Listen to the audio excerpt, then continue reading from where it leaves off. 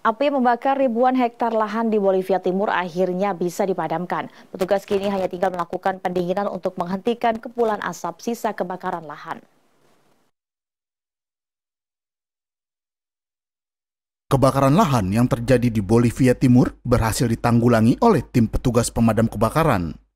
Mereka berhasil memadamkan api yang menghanguskan lebih dari 4.000 hektar lahan. Kebakaran lahan ini terjadi di area Taman Nasional Otokuis yang berada di wilayah Santa Cruz, perbatasan dengan wilayah Brazil dan Paraguay. Petugas pemadam kini hanya tinggal memadamkan asap sisa dari kebakaran lahan.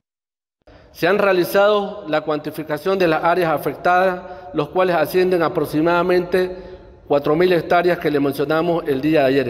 El día de hoy, este incendio se encuentra en una zona más húmeda, motivo por el cual el incendio ha ido bajando de intensidad, pero aún continúa. Kebakaran lahan di Taman Nasional Otokuis ini pertama kali terjadi pada akhir pekan lalu. Setidaknya lebih dari 4.000 hektar lahan hangus terbakar akibat peristiwa ini.